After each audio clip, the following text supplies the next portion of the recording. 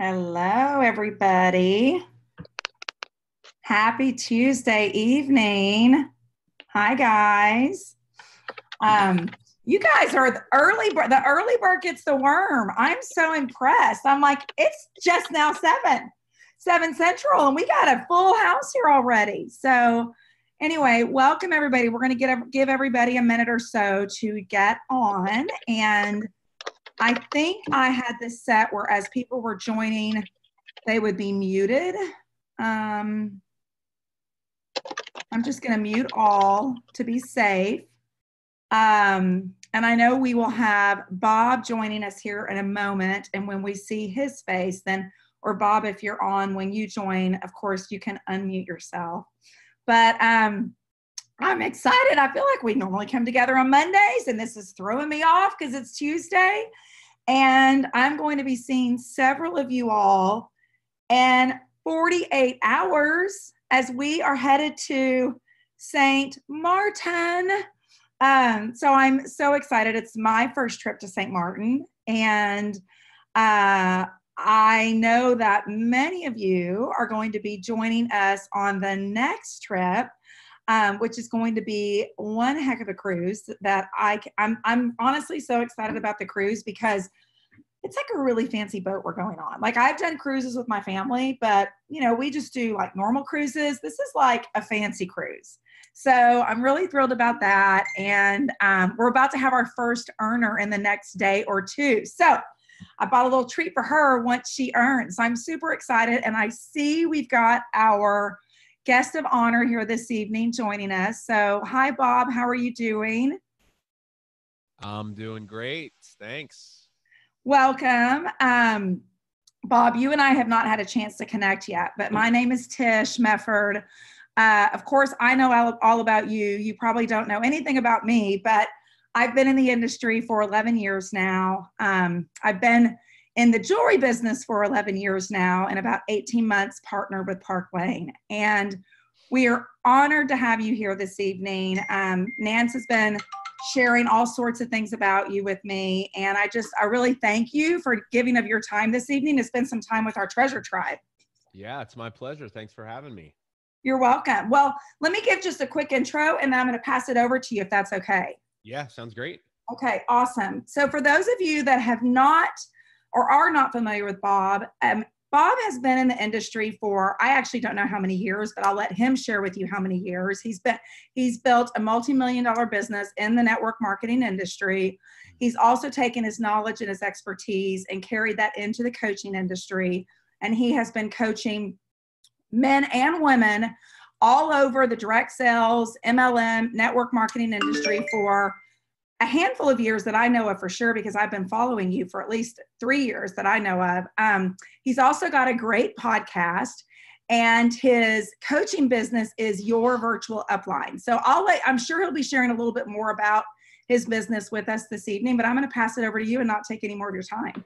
Yeah, awesome. Well, thanks for that introduction, Tysh, and I, I appreciate Nancy setting this up. And I, I think I heard that Scott's going to be on here too. So give Scott a little shout out there. Um, but I'm, excited to be here, and I want to thank everybody that um, that's kind of been following me on my journey and uh, pr- supporting the work that we're doing here inside of this profession. Um, tonight, I want to talk to all of you about a topic that I'm really passionate about. In you know, in my business. Um, I really focus on helping people develop themselves as leaders inside of their businesses. You know, we really uh, the area that we specialize in is is helping people really step into the the belief that they can be a leader in this profession that they they can be successful and build the business and the life of their dreams and what i find is that there's a really big hurdle that we all have to face re- really regardless of what level we are in our business and it's our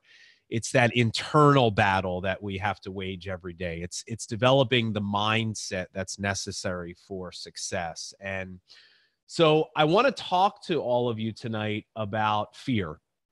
And i want to share a message that i've prepared uh, for you that is called the gift of failure Some of you, if you listen to my podcast, you've probably, uh, I did an episode not too long on this topic, and it was one of my most popular episodes that I've ever done. And I'm not surprised to hear that because the information that I'm going to share with you tonight, I know is something that we all have struggled with at some point in our career. And I know that it's really important uh, information because it can truly change your life.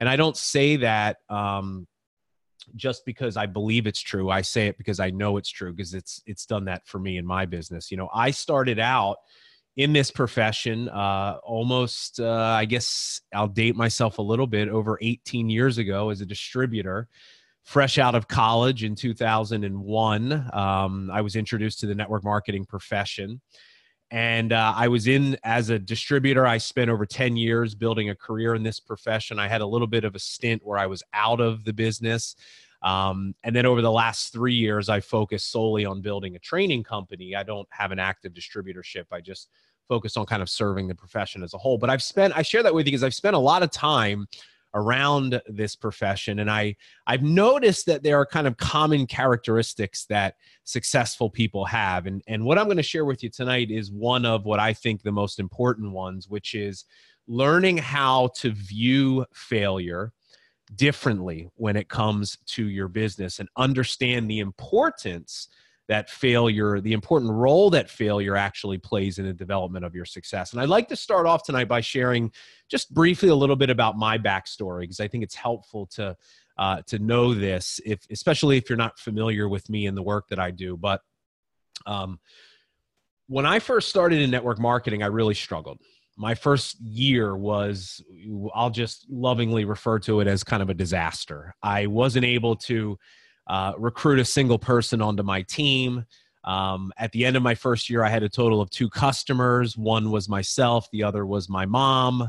Um, I'm not I'm not proud to admit this today, but I will say it now because I um, thankfully have evolved as a person. But um, I had to threaten my mom to become my customer by telling her I wouldn't come home for the holidays one one year. So um, that was where I was at the end of my first year, and I just share that with you because I want to try to make some of you feel a little bit better about where you are in your business, and know that uh, if I did it, then then anything is possible. But I found myself after a year being in this business really struggling with this idea of whether or not I had what it took to be successful. Um, you know, I think one of the reasons why the training that I um, deliver people relate to so much is I I have a depth of understanding um, about what it means to struggle in a business like this because I did struggle for so long that I can speak very clearly to this kind of inner battle that we face because it's one that I've waged most of my life. And I'll tell you the area of my life that I struggled with the most when I first joined my business was this tremendous, literally debilitating fear that I had of public speaking. And I share that today with people, and I know they they kind of shake their head and they're like, "There's no way you were afraid of speaking in public," because I I literally have built a business, and and you know I really view kind of like my calling in my life is to uh, inspire and impact people through sharing my story and my words. But it was it something I was afraid of most of my life, and I really struggled with this idea of having to do that inside of my business. You know, if I'm honest with you, I absolutely hated prospecting every single step of the way. Um, the idea of me having to like give presentations and uh, train people that joined my team was so frightening to me. Uh, I would say all the right things. I would say I wanted a big team and a lot of success, but I had a really I had an interesting knack, and and if you if you can relate to me, just kind of shake your head here. I really had an interesting knack for self sabotaging in that first year. Uh, anytime I would have even the slightest hint at something going right, I would find a way to screw it up pretty quickly. I was very inconsistent. It used to drive me crazy because I would sit there in a training and I'd be like, I know what I'm supposed to do right? I've heard this a thousand times. This is not rocket science, but why in the heck am I not doing it? Right. And so I had all these things that were going on, and it was like I was really my own worst enemy. And what I didn't realize at the time, and I teach this to a lot of people today, is if you struggle with inconsistency in your business, One of the reasons why that is, and, and, I, and I can almost guarantee you, it's because if you if you start to peel back the layers, you'll find that you struggle with issues of worthiness. And you struggle with this idea of whether or not you are really deserving of and capable of the success that's that you say you want. And self-sabotage comes when we start to see external results things start to go right but those external results don't match up with the true belief in how we feel about ourselves uh, in you know in, inside. And that's the reason why we self-sabotage. And you know there's this idea that your external results will always mirror your internal beliefs and thoughts about yourself. And if you have negative thoughts that are driving you in your business every day, I can guarantee you that's going to translate into negative results. See, most of us make the mistake we give our power away because we believe that our external circumstances are what ultimately creates our results and i felt victim of this because here's this was the the vicious cycle that the trap i would fall into about negative thinking I would look at my results, which were nothing after a year. I would look at this team that I didn't have, and I would constantly be comparing myself to others. And the thought that I had was, I'm not good enough. I'm not a good leader. I'm not worthy. And how could I not think that? Because look at my results. Look how bad things were. And the mistake that a lot of us make is we're always looking to our external circumstances and our current results as evidence of the fact that we're not good enough or we're not worthy. So it supports this belief that we have. And what winds up happening is we wind up just creating more of what we don't want. Because here's one of the greatest realizations that I've had. And I'm, you know, I've become obsessive uh, uh about studying the psychology of success because I really believe that that's where it lies. And here's one of the things that I learned that changed my life that I'd like to share with you here tonight. When you look at your current circumstances and the things that you have today, you have to understand that your current circumstances have nothing to do with your ability to create the life that you want in your future. And the mistake that we make is look at we look at what we have today. We see that as validation of the negative beliefs and thoughts we have about ourselves and we wind up just creating more of what we don't want. Here's the life-changing realization that i had. Our current circumstances and the results that we have today are evidence of our past thoughts and beliefs about ourselves the thoughts that you thought yesterday actually created the feelings that you had, which determined whether or not you showed up and went to work. And that over time is what created your results. And here's the here's where we really take our power back is when we understand that we are not a uh, a powerless player in this game having to deal with whatever hand that life deals us, whatever set of cards, that circumstances don't create your results. Your thoughts about your circumstances create your results. Because if you can learn how to start to change your habits of thinking from negative to positive, consciously start to, to believe and think different things about yourself. Because here's the thing about a belief See, we hold our beliefs to be true. But when we examine our beliefs, right, and I had this belief that I wasn't good enough, I wasn't a good leader for so long, I just accepted it as fact. It was part of who I was. But when I started to peel back the onion and shine the light on it and realize that all a belief is, is a thought that you keep thinking over and over again, and it becomes so ingrained in your identity that you do believe it's true, but it's not. See, thoughts are just interpretations. Your thought is just a way, a perspective, a way of looking at things. See, some people are in the same position that I have of not having a team, but their thought is not that they're not a good leader. Their thought is that they're still learning and growing and that they have room for improvement. See, I had what, um, you know, there's a great book called The Psychology of Success, and what the author, Angela Duckworth, refers to as a fixed mindset.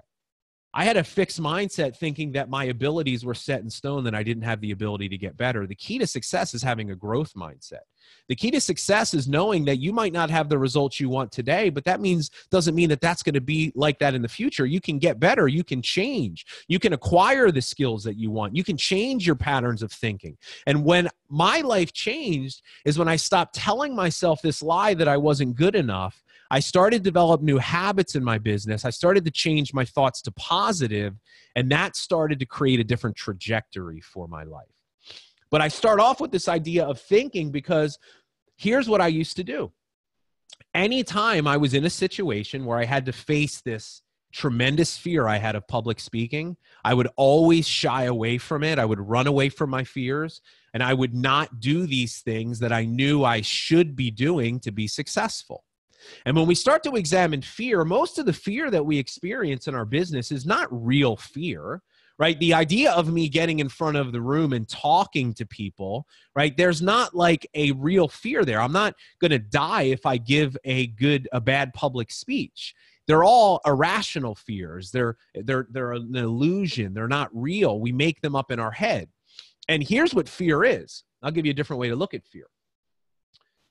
All fear is is you imagining a negative outcome for an action that you haven't even yet taken. And this is what I would do over and over again. I would be faced with this idea of doing something that would scare me, reaching out to a prospect, right? And then Im- immediately, what do we do? We go, we create a story because we love making up stories. That's all we do. Our whole life is just a big story. And I would have this thought, oh, I should reach out to Sally. I haven't spoken to her in a couple of years. She'd be a great prospect. But then immediately, what do we do? We imagine every single scenario of how that's going to go miserably wrong. Oh, she's going to, she's not going to answer me. She's going to be offended. She's not going to be interested. She's going to say no. She's going to think I'm stupid. She's going to do this, right? We all, we imagine all the ways it's going to go wrong. And then what happens? We do nothing.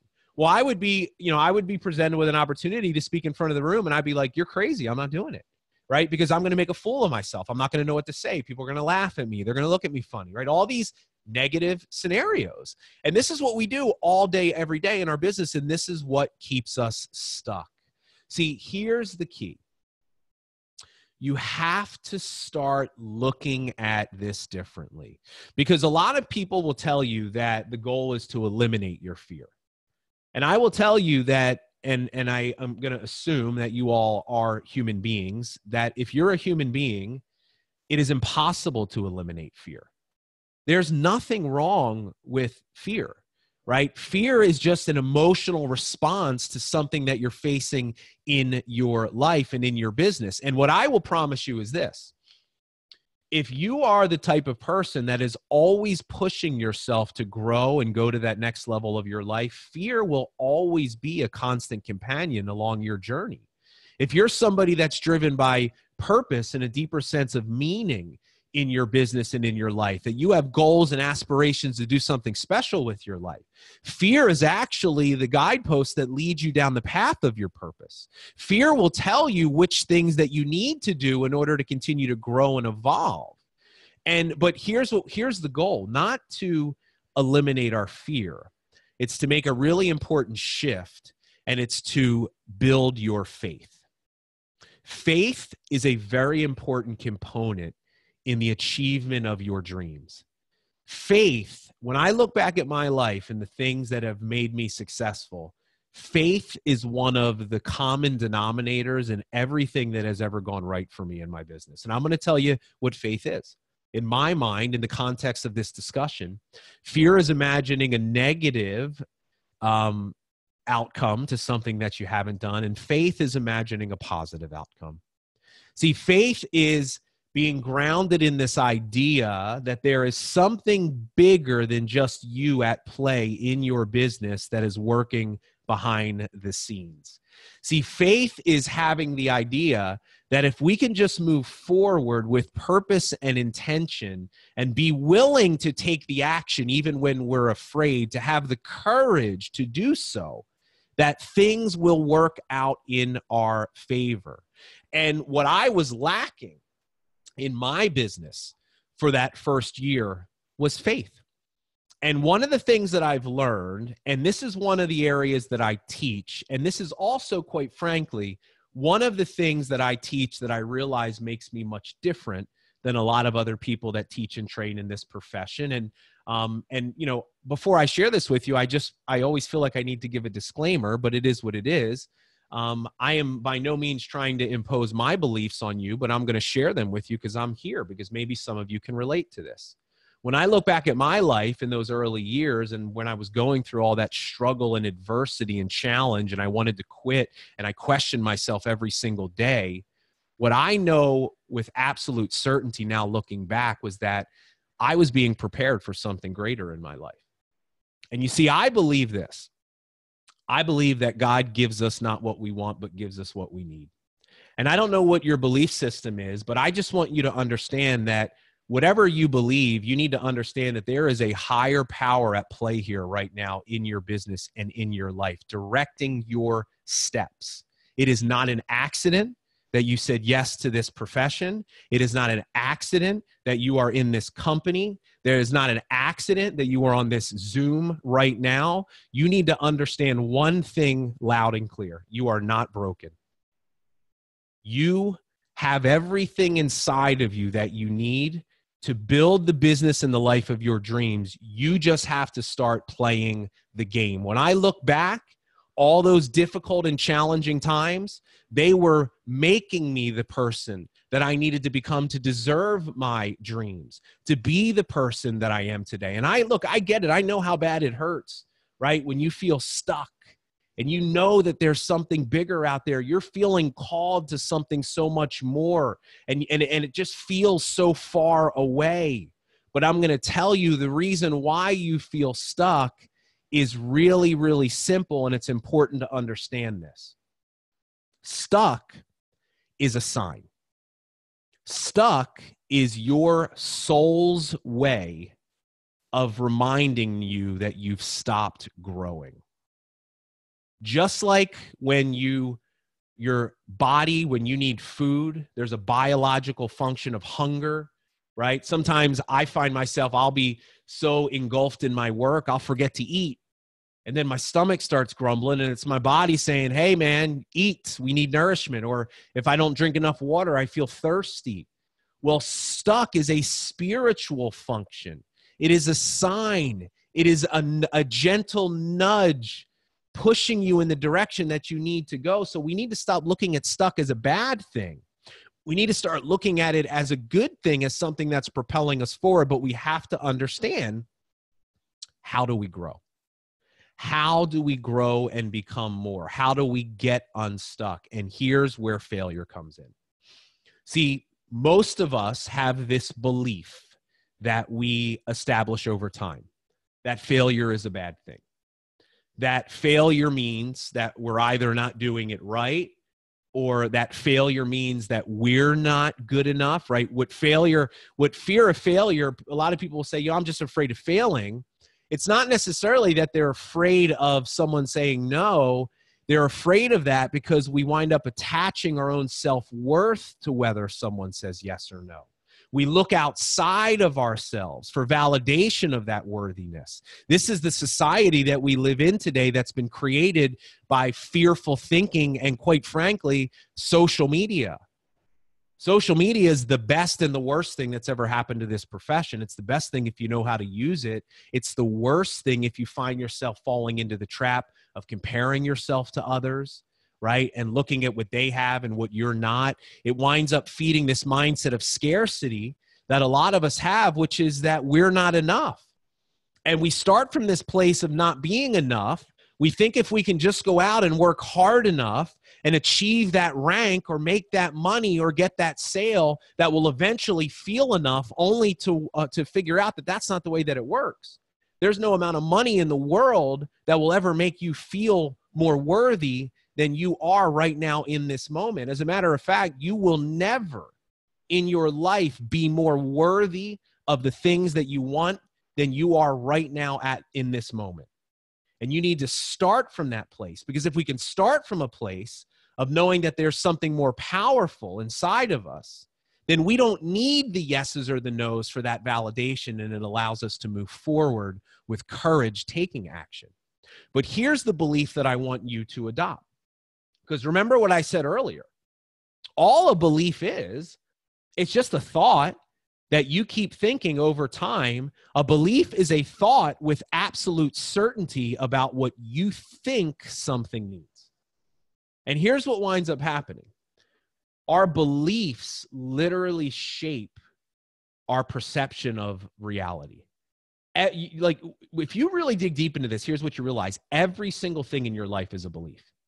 Everything in your life is just your perception and interpretation of how things go. And what we do is, I, I use the analogy we have these core beliefs that we form over our life and it's the it's like if you're wearing a pair of glasses that have red lenses on them i promise you the only thing you will see the world at is is red and if you have a belief that you're not good enough and that you're not worthy everything you see in your life will just be proof of that belief but if we start challenging these beliefs if we start saying hey maybe i can start thinking a different thought over time maybe i can start shaping the way that i perceive life that's how we change here's the belief i want you to adopt that success and failure are not different paths.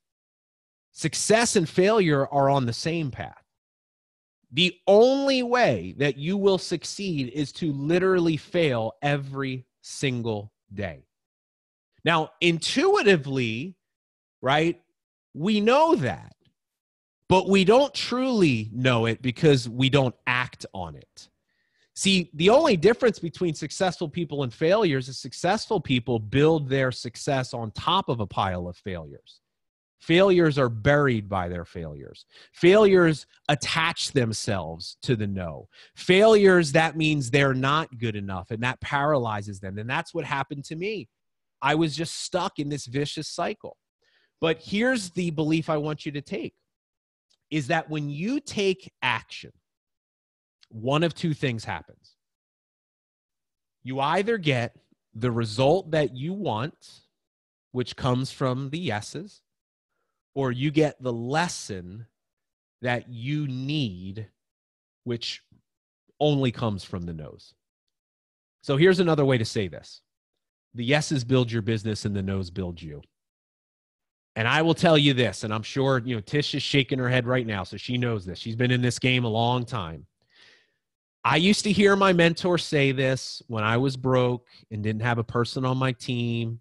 And it sounded nice in the beginning. And I was like, yeah, that, that sounds cool. But after a while, I got kind of sick of hearing it because I wasn't seeing the results. But I'm going to say it to you right now, and you can shake your head at me if you want, but I'm going to just tell you. And someday I pray and hope that you find out. The person that you become in the pursuit of building your business and chasing your dreams is by far the greatest gift you'll ever be given by this profession. And here's where I want to kind of call some of you out. Some of you are not showing appreciation for the process. See, I was the same person that after that first year, if you would have asked me, hey, how are things going? I would have told you terrible. And I would have been like, there's nothing going right. I don't look at my results. I don't have a team.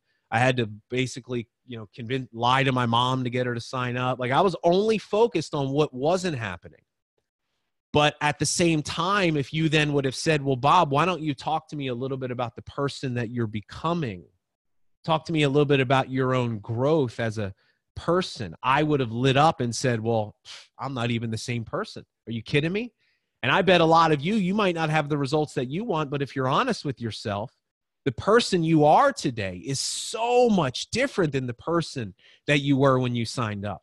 And what I want to challenge you to do is why not show some appreciation and gratitude for the process and the journey and who you're becoming? Because sometimes when we can show appreciation and when we not focus on what we don't have and what we do have, what we want grows in, uh, starts getting attracted to us and we become more. And that's what winds up happening, right? But think of it like this the no's are really where it's at because the yeses are great. Don't get me wrong. We have to get the yeses. I mean, eventually somebody's got to say yes. But here's the thing about the yeses we learn very little through success, we grow very little through success. We do not build character through success. It is easy to lead and be happy when things are going well. You want to know the true test of a leader? You want to know when you really see their stripes? Look at the way that they lead themselves and the way they lead others when things are not going well. See, during times of challenge and adversity, that's when character is built. That's when the real leaders show up. but that's also when you grow. See, if you can learn how to adopt a more healthy attitude towards failure, not attaching yourself to the result, but saying failure is an opportunity for me to learn and grow. The wisdom that you gain on the other side of failure is ultimately what makes you the person that you need to become to deserve the success that you want. You do not pursue success, you deserve it. And I'll tell you, I got clued in on this the very first time that I ever spoke in public in my business. It was just over a year into my journey. And I was, I already painted the picture. You get where I was. And I showed up to a meeting. We used to do Saturday morning meetings uh, down at the Philadelphia airport, where I'm from, the Ramada Inn. Every Saturday we used to have trainings, and I would drive 45 minutes to the to the airport, go to the hotel week after week, no guests, just me sitting there and hear the same talk over and over again. And I was at the point in my business, if I'm honest, where I really was ready to give up. And I showed up, and I truly believe, once again, things happen for a reason, right? There's something bigger at play. I showed up to a Saturday morning meeting. I'll never forget it. I still remember it like it's yesterday. And this was a meeting that what without me knowing at the time was going to alter the trajectory of the rest of my life. I showed up and just before the meeting was going to start, my mentor and, and my friend, his name was Mike, he grabbed my arm before I could sit down and he said, Hey, we want you to open the meeting up today. And if any of you have ever been in this position before, maybe it wasn't a meeting, but maybe somebody asked you to speak in the Facebook group and go live or do something, share your story, you'll know what that feels like.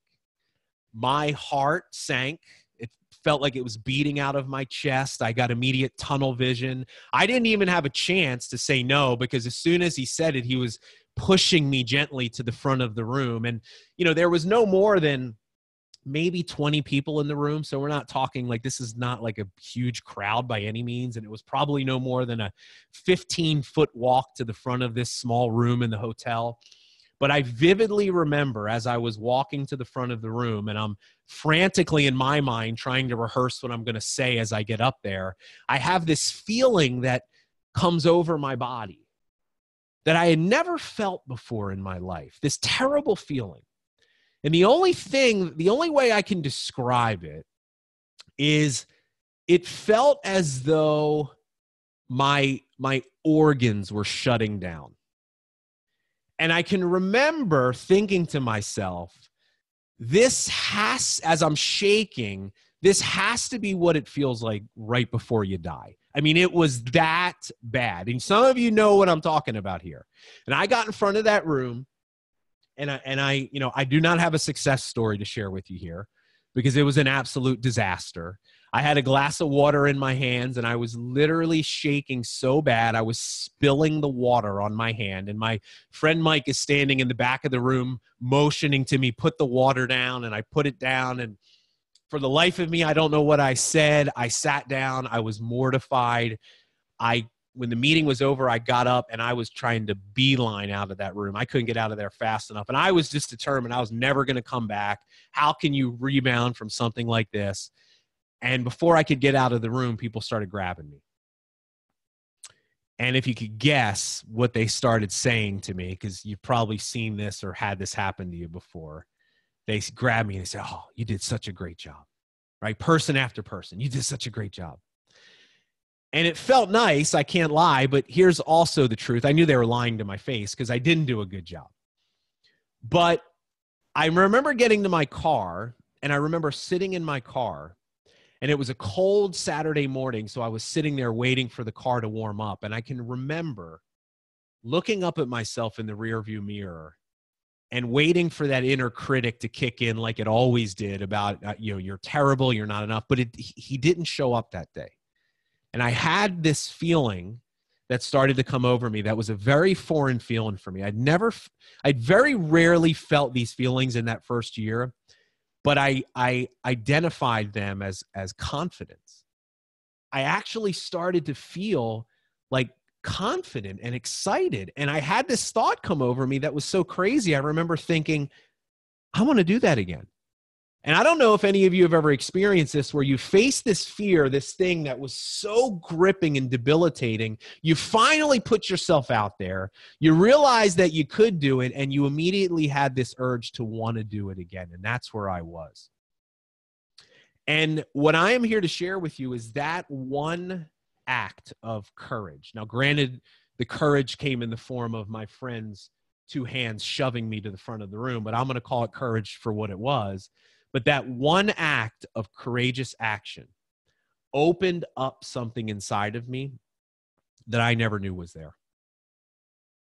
And what I when I look back on this today, and, and it wasn't an overnight success by any means. It was a series of me facing that fear over and over. But here's what happened every time I faced that fear and I took action, I learned something. I grew, I became more.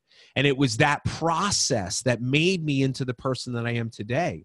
And when I look back today, here's what I'm really clear on that feeling that I was experiencing was not of one of me dying, it was the feeling of something inside of me so far greater being born. See, what I had not realized is one of my biggest fears my entire life was actually a reflection of one of the greatest gifts that God had given me. That I had a gift inside of me to inspire people through my words and my story. But I had been running from fear my whole life. I never even knew it was there. Thank you, And, and it's almost like I shudder to think today, to think about what if I never joined a network marketing business. I don't know whether I whether I ever would have realized. This is the reason why I love this profession so much. Is because what it really is at the end of the day, it is a vehicle to help us re- become the person that we were created to be. And I am here to tell you that person is so much bigger than any one of you can realize there is greatness inside of you. The things that you fear in your life, you fear them for a reason. If you fear being a leader, I promise you, you were created, you were uniquely created to lead others in only a way that you can. If you fear fear public speaking, just like I did, you may not believe this right now, but someday if you can just keep pushing, you are going to inspire people with your story. But the problem is some of you are just in the beginning of your story. Some of you are just starting out, and, and, and, and I don't know if any of you are like movie buffs like me or love reading a good book, but how's every movie or how's every book start off? It starts off with tragedy, right? It starts off with everything going wrong. And I just think back, what if in the middle of the first chapter of the story of my life, I gave up and stopped writing? And that's what I want to tell you. Do not Stop writing your story. There are things that you're going to do in your life that are so much more than what you can imagine. And this business, this this vehicle that you have is is is the thing that's going to help you do that. This is the reason why I love this profession so much because of what it allows us to do. It allows us to make an impact in the lives of other people. This is much more than just selling jewelry. And look, you guys got some great stuff. Obviously, you've built an amazing company. But what you're offering people is something so much more than just jewelry or an opportunity to make extra money. You're offering them hope. You're offering them belief in themselves. You're offering them love. You're offering them the ability to transform their life Start thinking bigger. Start viewing what you do not just as a job. This is a calling. This is something that will help you build a legacy for your life. The problem with our profession today is we're so focused on just making money and what we can get, we've lost sight of what this is really about. And if you can get back in tune with that, and if you can tap into that, that deeper meaning, it will change your business and it will help you change your life. But here's the last thing I'll share with you. And you guys already know this. Your problem is not one of knowledge. You do not have a knowledge problem. You already have more information in your head and in your notebooks than you need. Your problem is an execution problem. And what you need to do is you need to just get back to the basics, keep things simple, start taking action, start looking at fear and failure a different way. And you want to know what? If you don't have what you want today, here's the reason why you're not good enough. Now, you might be, well, wait a minute. Well, think about it. If you were good enough, you'd already have what you want, but you don't. Now, not being good enough does not mean that you are not worthy or deserving, every one of you. There is not one of you that is more deserving or worthy than the next. But you want to know why you're not good enough? Because you haven't failed enough, because you haven't tried enough. And therein lies the catch 22 of this whole thing we just got to be willing to fall in love with the process start stop focusing so much on the result thinking the result's going to bring you what you want it's not ask anybody that's reached the top levels of success Tysh will tell you if you think hitting the top rank is going to make you feel happy and worthy and good enough you are in for a awakening a sore lesson in life the process is the thing that will bring you the joy. And if we can fall in love with the process, if we can fall in love with the person we are becoming, that's the key to unlocking what you want. So, Tysh, I'll kick it back over to you. And um, there's anything else you'd like to have me share, I'm happy to do that. Bob, that was amazing.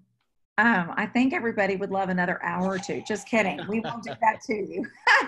but would you be open if there were maybe two or three or four questions? Would you be open to answering them? Yeah, we take a couple questions. Okay, awesome. Does anybody have a question? If you do, please unmute yourself. I could ask you questions all night, but I'm going to let the others take them. Anyone?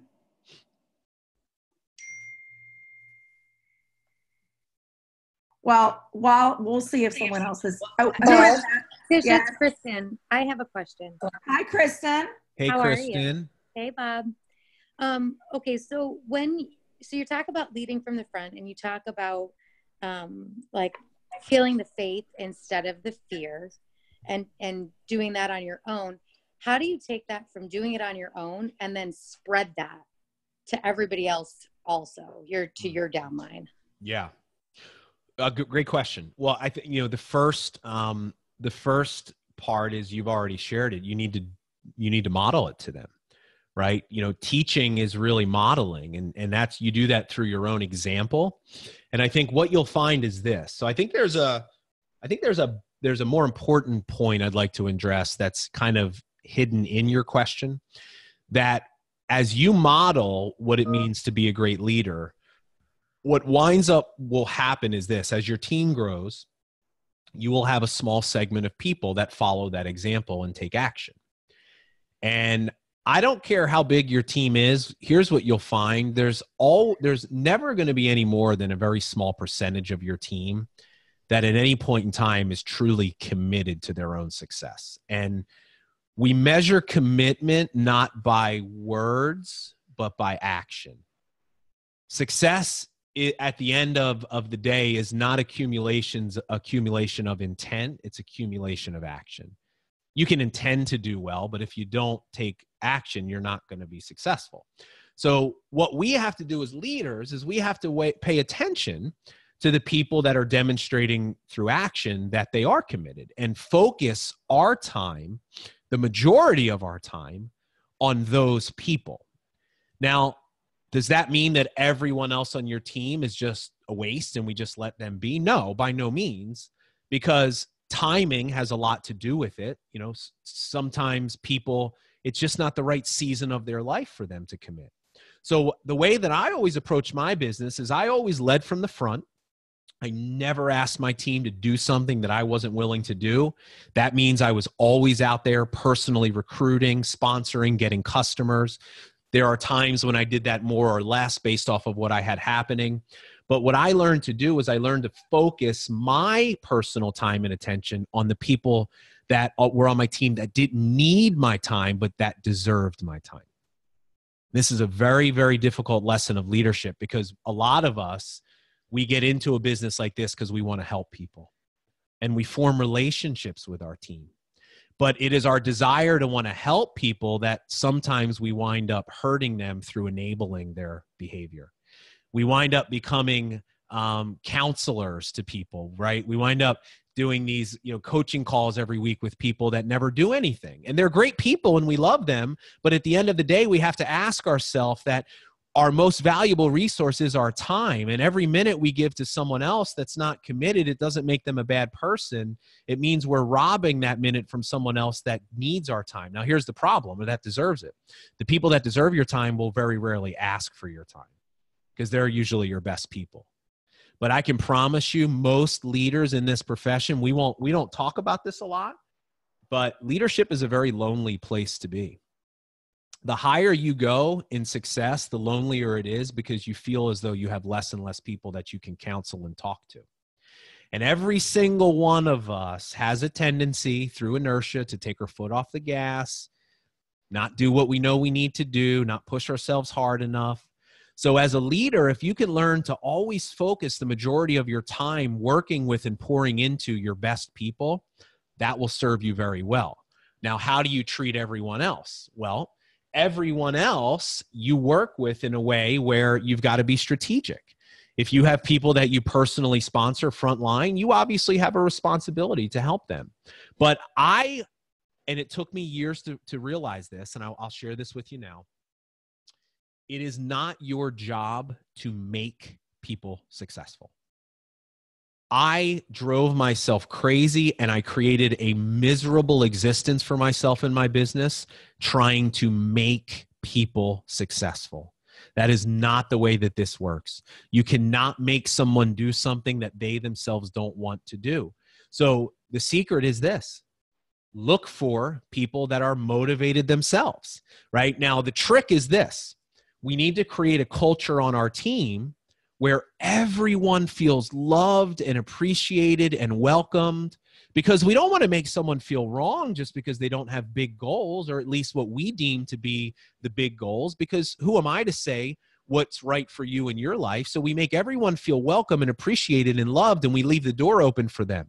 But behind the scenes, we're looking at working with people that are demonstrating to us through action and commitment. And what'll happen is over time, that will change for people. One of the things, Kristen, you might do, teach them what we're talking about here tonight, right? Challenge. Look, as leaders, we have to be willing to challenge people. You know, I think that one of the, you know, one of the, the, the I teach a, um, I created this thing that we call the legacy leader movement.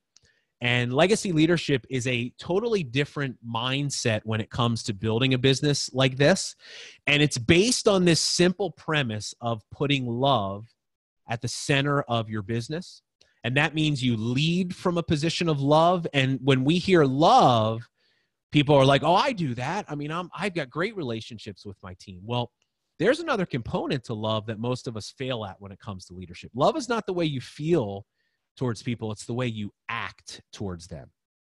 And leading with love means that you are willing to challenge people, to hold them accountable, to call them out when you know they need to be, to set boundaries, right? All the stuff that, you know, the icky stuff that we shy away from because it's like the tough love because we hold this false belief. I'm, I'm going to go back to beliefs again that if we do that to people, that we're going to damage our relationship with them and push them away. Where it's actually the exact opposite. You know, I have a um, I have a two year old son. It's our first child. His name is Grayson. And I'm learning this lesson now that, you know, on almost a minute by minute basis every day, I'm having to, um, to dis, you know, to tell him, don't do that show him that tough love. And and i'm i'm willing to do that. I have a responsibility to do that because i'm his father. And i know that every single time he does something wrong it's an opportunity for me to help him develop his character and stay on the path of of creating the life that he would want. But we don't look at our teams that way. We say we love our teams but we're not willing to step into that part of leadership. And that's a major limiting factor. So, what I'm saying, Kristen, is sometimes you got to be willing to have tough conversations with people and call them out. But you do it from a loving place. And, and sometimes it's not going to go the way that you want, and that's okay. but sometimes it will. Sometimes people will start showing up for themselves when you start showing up for them. Maybe they never had anyone in their life to point out to them that they're the reason why things are not going the way that they want. So all of that stuff, that's probably the literally the longest answer ever to a simple question, but you know, all of that kind of in my mind falls under the same umbrella of leadership. I agree with you, Bob. Um, Nance, did you have a question? Okay, can you hear me? Yes. Okay. Yes. Uh, I don't have a question actually. I just wanted to very quickly thank thank you, Bob, for first of all replying to my DM. That was pretty amazing, and actually that created a little lesson in our Facebook group. Like sometimes you just need to ask, and you never know. That's and right. we have you. Well, you know what I you know how I say that, Nancy? Always assume positive intent. Awesome. Always Yeah, assume well, positive intent. That's faith, right? Just assume it's going to go the right way. If it doesn't, Yes. who cares? You If know? I can ask, if I can ask you to come speak to our team, then I can ask a lot of people a lot of things. That's right. but I just wanted to say thank you, and it was even more amazing than I thought it would be. Um, I, I mean, I knew it was going to be amazing, but it was even above and beyond. And I know we're going to be talking about it in a little bit. And I also want to let anybody know on the call and anybody that's going to watch this recording that uh, Bob's Legacy Leadership Academy is worth every penny and more. Uh, it's amazing, um, truly amazing. I appreciate you saying all. that. Thank you. And we That's will we will say. be um we will be op- we will be opening up enrollment again in October. So if anybody's interested, they can um, just go to legacyleadershipacademy.com and you can join the wait list there. Um, and you'll be one of the first to know when we do open up. So Was there anybody else have a question that we could pose? to I have one, Tysh. yes. Now, Hey, um, so I, Bob, I wanted to ask kind of like something a little bit, um, a little bit more personal. So just to be completely transparent, because I really want to know what your thoughts are on this. yeah, sure. Um, You got me nervous so- now.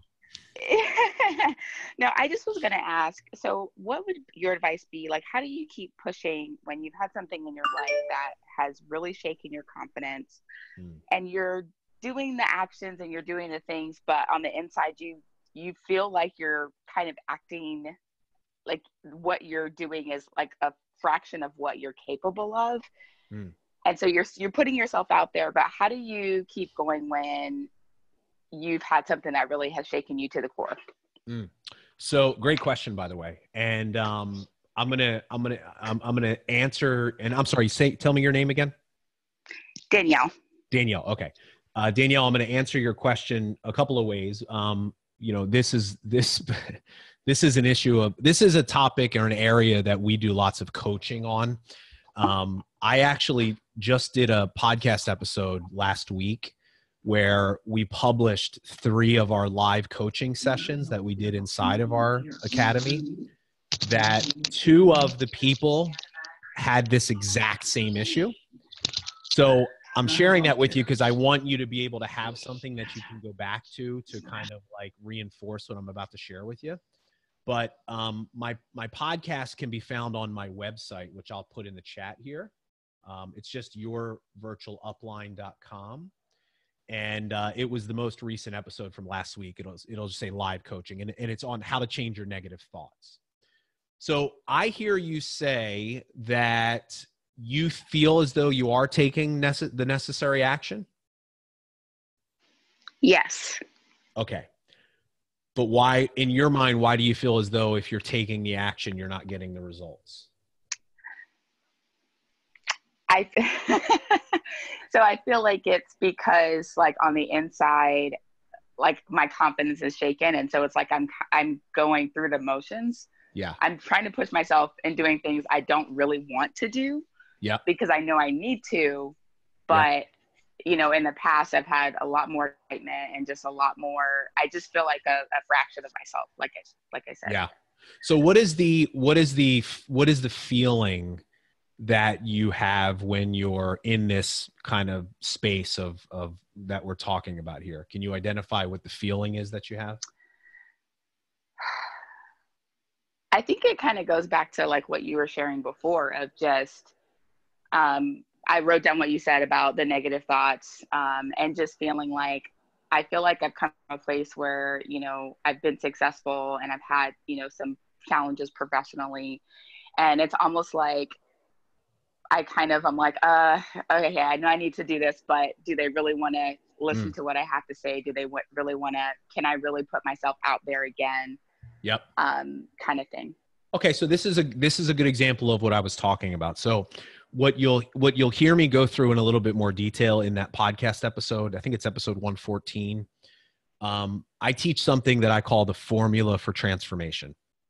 And basically what it is, is it's a, it's a, it's a process to help you um, identify and change your negative thinking and beliefs. And I've, I've hinted at it already, but the way that it works is um, we have our circumstances, which are the things that are fact in our life, they're the reality of our life. And we have thoughts about those circumstances. So if I, what I hear you saying is that you've had some recent challenges in your professional life that have maybe shaken your confidence a little bit. Yes.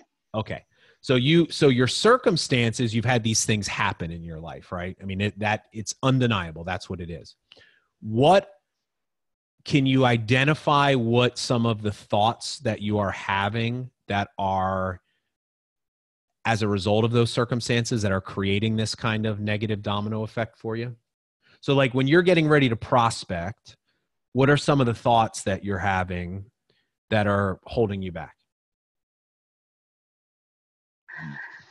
Yeah, that's a good one. I would say um, just kind of doubting, like, do I really know, you know, what to say?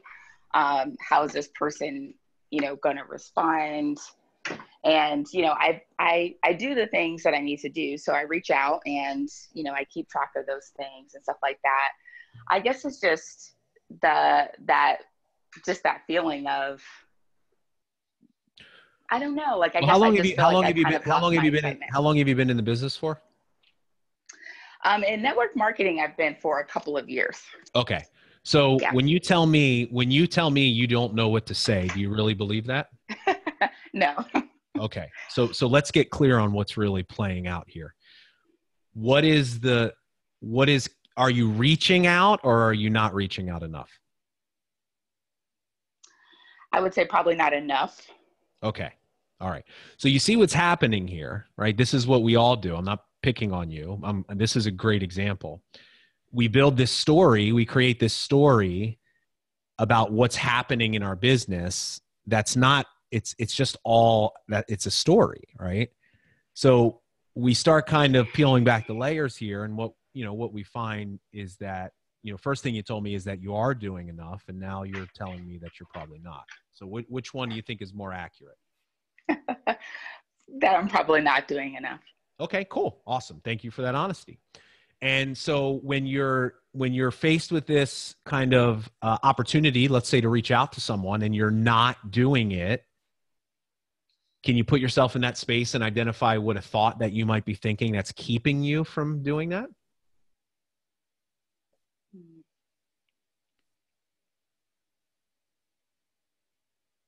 I'll kind of help. I'll help you coach you through this because I'm I'm putting okay, you on the spot, sure. by the way. So I I appreciate. Nor, normally when I do this, we've had people that have gone through the training already. So I appreciate you being you know willing to do sure. this. But so it's not so much. What's the worst thing that can happen if you reach out to someone? I I probably what I would perceive is like getting blocked and and losing that perceived relationship that I had with that person. Okay. So so you have maybe this thought or belief that you could damage relationships with people by reaching out to them if they're not interested? Sure. Okay. So let's look at that. Let's examine that. Do you have factual proof of that? Has that happened before?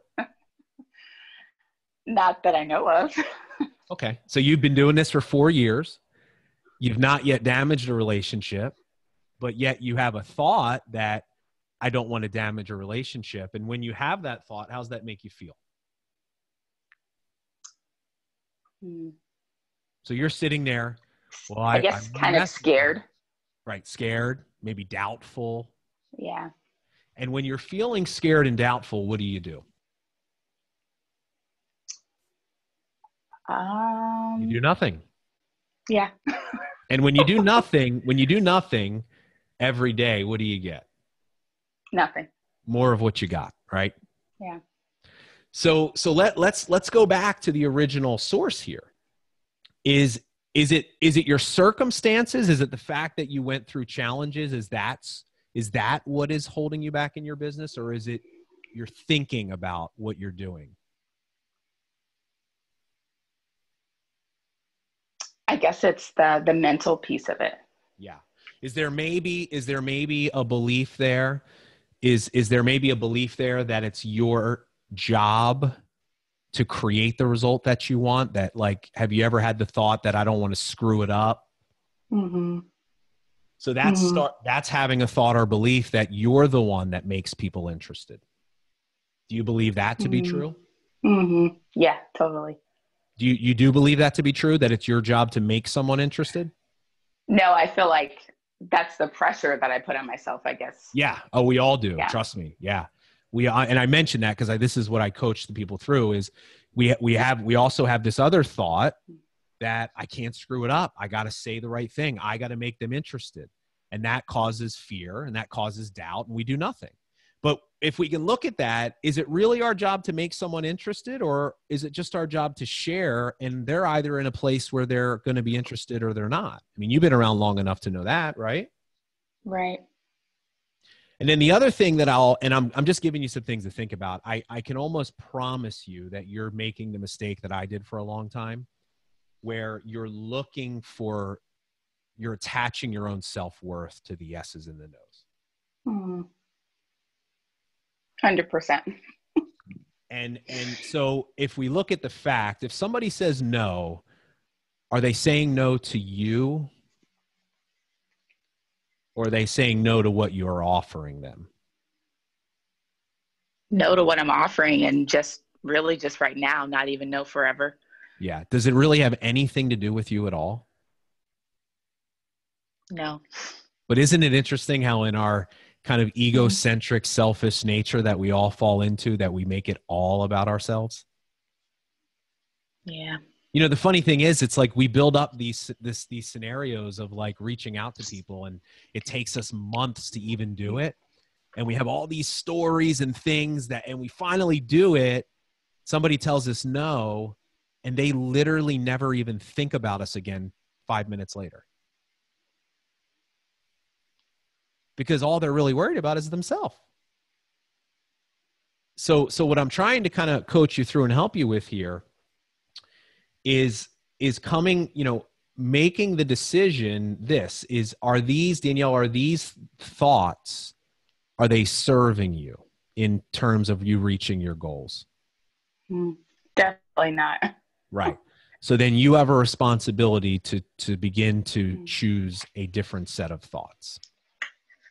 So what's a what's a thought that you could think when it comes to or what what's a what's a thought or sometimes it's easier for us to identify feelings sometimes thought. What's a thought or a feeling that if you did have would help you take action or one that would serve you to reach your goals? I've given you some already. Yeah, no, I think that I think the thoughts that motivate me the most is that I have good things to share, that I can help people, it's not about I've you success. Yeah. it's not your job to create the results mm-hmm. Yep. you just have a responsibility to share no doesn't mean that you're any less and maybe go back to what i taught you earlier maybe the fact that you're stuck is because you're not approaching failure in the nos with a healthy attitude. Hmm. Look it's only natural right? You go through challenging times you get down right? It's tough. But what winds up happening is we create this negative pattern of thinking that starts to change our actions which just keeps creating more of what we don't want. And if we can start thinking differently if we can consciously start to examine our thoughts and here's the big thing i'm teaching you how to do here is understand that you are not your thoughts danielle you are the thinker of your thoughts. If you think a negative thought, it does not make you a negative person. It makes you a human being. If you think a sad thought, it does not make you a sad person, it makes you human. See, the problem is not the thoughts, the problem is the, the thoughts that we choose to believe. So, what I want you to start doing is, I want you to start learning how to be responsible for your thoughts, right? Church, Winston Churchill mm. said the price of greatness is responsibility. That starts with your thinking.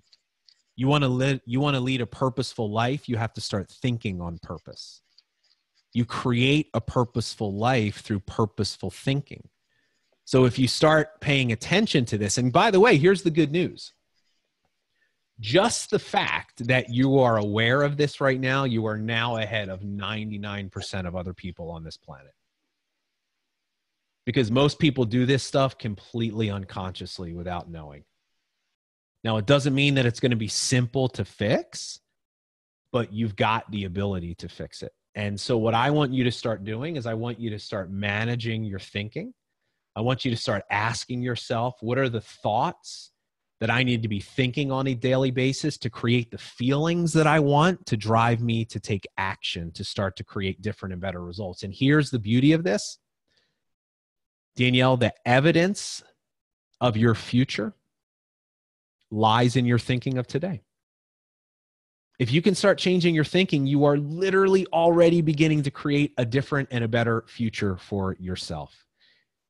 And you have you have the ability to do that, don't you? Yes. So I want you to stop looking at your circumstances as the thing that's controlling you. They're not. What happened is is in the past. You can't change it our attachment and our our desire to try to change the past is the very thing that keeps us stuck and creating the past over and over again let go of the past step into the present get rid of fear feel that love in your heart right? Because that's love is the is the uh, opposite of fear. Fear is the absence of love. Feel love in your heart for another person. Focus on them and what they need. Focus on service. Switch from a sales mindset to a service mindset. And if you if these are the things that are in your head and that are driving you every day you'll be amazed at how you start to show up. But the way that you do it is just by small little actions little things every day. Forget about how far you have to go because fear is going to make you think too big. Yeah but bob look how far i have to go. Look success is created by thinking small. Habits change your life. What are you doing? Change your thinking. Change what you do. Over time that will change your life. Is that helpful? Thank you. That awesome. Thank you so so much so go listen to that podcast episode because i give that same line of coaching a couple of different ways to three different people. And i think it'll be really good for you because you're going to need to hear that a lot more. And um and for by the way for any of you that that are like you know i need that kind of stuff um, the first thing that we do with all of our new students that join our program, we take them through uh, that mindset coaching piece to help you identify your negative thinking and kind of start to change your beliefs about yourself. So, thank you, Bob. You're so, welcome. This has been incredible. And for the all of you that joined the call, after we end this, I'm going to start a thread in our group page. And I want everybody to share some of your ahas or favorite tips that Bob shared, and I'll I'll send some sparkly surprises to a few of you. So this has been so wonderful, an incredible way to spend an evening together. So thank you, Bob, again. Yeah, thanks everybody. Have a great night. Take thank care. You.